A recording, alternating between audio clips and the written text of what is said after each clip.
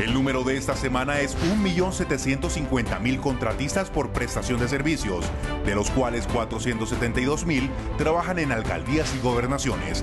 La cifra se conoció en una audiencia pública sobre trabajo decente, convocada por el senador Wilson Arias del Polo Democrático.